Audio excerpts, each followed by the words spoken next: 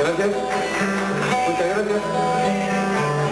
La verdad es que estamos un poquito afónicos porque vengo desde Guandabamba.